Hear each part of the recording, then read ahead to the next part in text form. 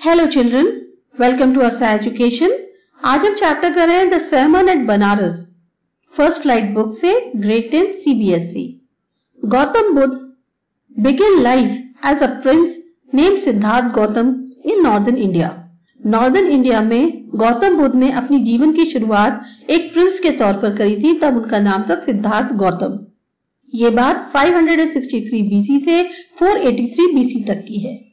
At 12, he was sent away for schooling in the Hindu sacred scriptures. And four years later he returned home to marry a princess. 12 साल की उम्र में इनको बाहर भेज दिया गया था ताकि ये जो है स्कूलिंग कर सके हिंदू जो प्योर हिंदू स्क्रिप्चर्स होते हैं वहाँ पर उनकी जो है ट्रेनिंग ले सके। साथ ही साथ चार साल बाद जो है ये वापस आए तब इनकी जो है शादी एक प्रिंसेस से कर दी गई। They had a son and lived for ten years as befitted royalty फिर इनके एक लड़का हुआ और फिर इन्होंने 10 साल तक लगभग सारी सुख सुविधाओं का जो एक राजसी सुविधाएँ होती है, उनका इस्तेमाल किया। At about the age of 25 five the prince here though shielded from the sufferings of the world while out hunting chance upon a sick man then an aged man then a funeral procession and finally among begging for alm पच्चीस साल की उम्र में जब Prince जो है, एक दिन शिकार के लिए बाहर गए तो वहाँ उन्हें एक बीमार आदमी दिखा। फिर उसके बाद एक बूढ़ा आदमी, फिर एक उन्होंने शव यात्रा देखी और फिर फाइनली एक ऐसा मॉन्क दिखा जो भीख मांग रहा था। इन सब जो डिस्प्लेजर साइट्स थी, उससे इनको बहुत तकलीफ़ हुई कि बाहर दुनिया में कितनी ज़्यादा सफरिंग है। These sights so moved him that he at once became a beggar and went out into the world to seek enlightenment concerning the sorrows he had witnessed. अब इन सब जो चीज़ों को उन्होंने देखा, उससे वो इतना ज़्यादा हिल गए, इतना ज़्यादा प्रभावित हो गए कि वो एकदम से खुद उन्होंने सब चीज़ें, जो भी उनका राजसी उपभोग था सब त्याग दिया। एक भिकारी के तौर पे वो जो है अपने महल को छोड़ के चले गए और उस दुनिया में गए जहाँ पर वो जो है एक ऐसी स्पिरिचुअल नॉलेज को पा सके, जिससे ये जो दुनिया में दुख है, जो उन्होंने देखे हैं, उसको कंसर्न थे, क्योंकि उनको बहुत ज़्यादा उस दुख को देखकर जो उन्होंने देखा था उससे वो इतना ज़्यादा प्रभावित हो गए थे कि उन्होंने एक हाई स्पिरिचुअल नॉलेज को अटेन करने के लिए बाहर निकलना सही समझा। He wandered for seven years and finally sat down under a fig tree, where he vowed to stray until enlightenment came. सात साल तक वो भटकते रहे और फिर फाइनली जाके वो एक फिग ट्री के नीचे बैठ गए। फिग ट्री यानी कि जो फिग होती है अंजीर के पेड़ के नीचे बैठ गए थे। और वहाँ वो तब तक बैठे रहे जब तक उनको पूरी तरह से वो स्पिरिचुअल नॉलेज मिल नहीं गई। Enlightened after seven days he rename the tree to the bo tree the tree of wisdom and began to teach and to share his new understanding जब उनको एनलाइटमेंट हुआ तो उसके बाद उन्होंने जो है, उस ट्री का नाम बो ट्री रख दिया, यानी कि एक ट्री जो विजडम की है। और फिर वहीं से बैठ के उन्होंने अपने जो नई समझ थी, उसको पढ़ाना और शेयर करना शुरू किया। At that point he became known as Buddha the और द अब इस समय जो है उनका नाम एक बुद्धा हो गया था। और अब बुद्धा का मतलब होता है जागरूक और जिसके पास पूरी नॉलेज है। The Buddha his first sermon at the city of Banaras, most holy of the dipping places on the river Ganges. अब बुद्धा ने अपना जो पहली प्रीचिंग थी, पहला प्रवचन जो था, वो बनारस शहर में दिया। एक ऐसी जगह जहाँ पर लोग गंगा नदी में डुबकी लगाने आते हैं। That sermon has been preserve and is given here वही जो सरमन जो उपदेश उन्होंने दिया, उसको बहुत ही संभाल के रखा गया है और उसी के बारे में आपको बताया जा रहा है। It reflects the Buddha's wisdom about one instructable kind of suffering इसमें जो बुद्धा ने अपनी जो नॉलेज बताई है वो एक ऐसी चीज़ के बारे में है एक ऐसी सफरिंग के बारे में जिसको कभी समझ नहीं सकते Kisa Gautami had an only son and he died Kisa Gautami जो थे उनका खाली एक ही लड़का था और वो मर गया in her grief She carried the dead child to all her neighbors, asking them for medicine, and the people said she has lost her senses. The boy is dead. वो जो किसा गौतमी थी वो इतनी ज़्यादा दुख हो गई थी या उनका इतना ज़्यादा दुखी थी वो कि वो अपने मरे हुए बच्चे को हर पड़ोसी के पास ले जा रही थी और उससे कह रही थी कि इसके लिए दवा दे दो। लेकिन लोग कह रहे थे कि यह पागल हो गई है क्या? इनको माइंड नहीं है इनका लड़का मर चुका है। At length, Kisa Gautami met a man who replied to her request. Finally Kisa Gautami एक ऐसे आदमी से मिली जिन्होंने उसकी रिक्वेस्ट पे जो जवाब दिया वो क्या था? I can not give the medicine for that child but I know a physician who can मैं तुम्हारे बच्चे के लिए कोई दवा तो नहीं दे सकता, पर हाँ एक वैद्य को जानता हूँ जो तुम्हें दवा दे सकता है। And the girl said pray tell me sir who is it and the man replied go to Sakyamuni the Buddha तो गर्ल ने कहा कि प्लीज़ मुझे बता दो सर वो कौन है? तो उस आदमी ने कहा, जाओ, साले मुनि चले जाओ, वो बुद्धा हैं। Kisa Gautami repair to the Buddha and cried lord and master give me the medicine that will cure my boy अब किसा गौतमी जो है, फ़ौरन बुद्धा के पास आई और उन्होंने वहाँ उनको रोते रोते कहा कि प्लीज़ भगवान, मेरे को जो है मेडिसिन दे दो, दवा दे दो, जिससे मेरा बच्चा ठीक हो जाए. The Buddha answered I want a handful of mustard seed Buddha ने कहा, मुझे जो है एक मुट्ठी भर के सरसों के दाने चाहिए. And when the girl in her joy promise to procure it the Buddha added तो जो लड़की थी, वो खुश हो गई। उसने कहा हाँ मैं ज़रूर दे दूँगी तुमको।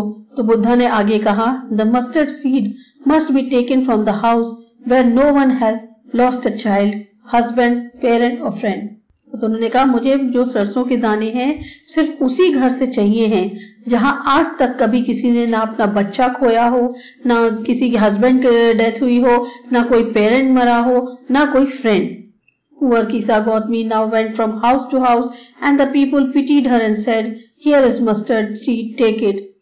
अब जो किसा गौतमी थी वो जो है घर घर जा रही थी और लोग जो है उस पर दया दिखाकर बोल रहे थे कि ठीक है ये लो सरसों के दाने ले जाओ.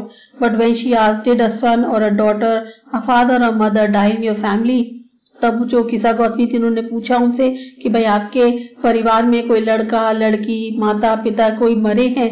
They answered her alas the living are few but the dead are many तो जवाब यही मिलता था कि हाँ रहने वाले तो कम है, पर मरने वाले ज़्यादा हैं। Do not remind us of our deepest grief तो हमें प्लीज़ हमारे उन दुख भरे बातों की याद मत दिलाओ। And there was no house but some beloved one had died in it कोई भी ऐसा घर नहीं था जहाँ पर किसी का कोई अपना ना मरा हो। Kisa Gautami become weary and hopeless and sat down at the way watching the lights of the city as they flickered up and were extinguished again अब किसा गौतमी जो है वो बहुत ज़्यादा नाउमीद हो गई थी। तो वो जो है, एक किनारे पे बैठ गई और जो शहर की बत्तियाँ थी, उनको देखने लग गई जो कि जल बुझ रही थी। At last the darkness of the night reigned everywhere फिर ऐसा लगा कि पूरी जैसे चारों तरफ़ अंधकार ही अंधकार हो गया है, क्योंकि रात हो चुकी थी। And she consider the fate of man that their life flicker up and are extinguished again फिर वो समझ जाती है कि ये इंसान की किस्मत है, कि उसकी ज़िंदगी जो है, जलती है और बुझती है। And that she thought to herself how selfish I am in my grief death is common to all फिर उसने अपने आप से सोचा कि मैं कितनी ज़्यादा सेल्फिश हो गई थी अपने दुख में। डेथ तो हर एक को आती है। And yet in this valley of desolation there is the path that leads him to immortality who has surrendered all selfishness फिर भी ये जो वैली है, ये डेसोलेशन की जो वैली है जहाँ एक ऐसा एरिया जहाँ पर बहुत ज़्यादा दुख है तभी वहाँ एक ऐसा रास्ता है जो उसे इमोर्टेलिटी यानी अमरता की ओर ले जाएगा, जिसने अपनी सारी सेल्फिशनेस को सरेंडर कर दिया है। Buddha said the life of mortals in this world is troubled and brief and combined with pain तो बुद्धा ने उससे कहा कि ये जो लोग जीवित हैं इस दुनिया में, वो हमेशा परेशान रहते हैं और उनकी जो लाइफ है, वो हमेशा दुख के साथ जुड़ी हुई होती है। For there is not any means by which those that have been born can avoid dying ऐसा कोई रास्ता नहीं है जिससे कि जो लोग पैदा हुए हैं, वो कभी ना मरे। After reaching old age there is death of such a nature are living beings जो पैदा होता है, वो बूढ़ा होता है, और जब बूढ़ा होता है तो वो मर जाता है। ये नेचर है, विधि विधान है हर लिविंग बींग के लिए। As ripe fruits are early in danger of falling so mortals when born are always in danger of death जिस तरह से जो फ्रूट्स होते हैं, वो जब पक जाते हैं तो हमेशा उनके गिरने का डर रहता है। उसी तरह से जो लोग ज़िंदा हैं, अगर वो पैदा हुए हैं तो वो हमेशा यही डर बना रहता है कि वो कब मर जाएँगे।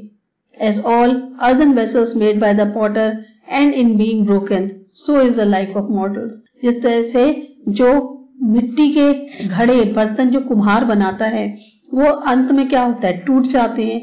उसी तरह से जो मॉडल्स हैं, उनकी ज़िंदगी है। Both young and adult both those who are fools and those who are wise all fall in the power of death चाहे यंग हो, बुढ़े हो, चाहे मूर्ख हो या बुद्धिमान हो, सबके सब जो है, इस डेथ की पावर में गिरते ही गिरते हैं। All are subject to death हर कोई मरता ज़रूर है। Of course those who overcome by death depart from life a father cannot save his son nor kinsmen their relations खास खास तौर से जो लोग, जो मृत्यु के ऊपर विजय पा लेते हैं, वो लाइफ से बिल्कुल अलग हो जाते हैं। एक फादर कभी अपने बच्चे को नहीं बचा सकता, या कोई किन्समैन अपने रिलेशंस को नहीं बचा सकता। Mark while relatives are looking on and lamenting deeply, one by one mortals are carried off like an ox that is led to a slaughter. ये बात याद रखो जहाँ एक तरफ़ रिलेटिव जो हैं, वो तुम्हें देख रहे हैं और तुम्हारे लिए दुखी हो रहे हैं, एक के बाद एक सब जो है मर जाएँगे।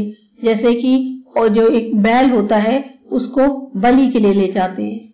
So the world is afflicted with death and decay therefore the wise do not grieve knowing the terms of the world ये जो दुनिया है, ये पूरी तरह से प्रभावित है डेथ से और डिज़ीज़ से पेन से। इसलिए जो बुद्धिमान है वो दुख नहीं मनाते क्योंकि उन्हें पता है कि दुनिया का क्या चलन है। Not from weeping not from grieving will anyone obtain peace of mind रोने से या विलाप करने से कोई भी मन की या दिमाग की शांति नहीं पा सकता।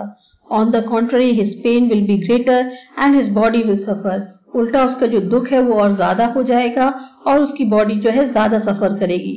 He will make himself sick and fail yet the dead are not saved by his lamentation अगर वो रो रहा है तो वो खुद ही बीमार पड़ेगा खुद ही उसकी बॉडी डल हो जाएगी लेकिन जो मर गया है वो उसके विलाप करने से बच नहीं जाएगा। He who seeks peace you draw out of the arrow of lamentation and complaint and grieve अब जो शांति चाहता है उसे इस लैमेंटेशन uh, जो कहते हैं आपका विलाप है या जो शिकायत है दुख है इन सबसे बाहर आना होगा। He who has drawn out the arrow and has become composed will obtain the peace of mind जो इन चीज़ों से बाहर आ जाता है, उसे शांति मिल जाएगी। And he who has overcome all sorrow will become free from sorrow and be blessed और जो इस दुख से पूरी तरह से पार पा चुका है, वो अपनी दुख और तकलीफ़ से पूरी तरह से निजात पा जाएगा और वो हमेशा जो है ब्लेस्ड रहेगा।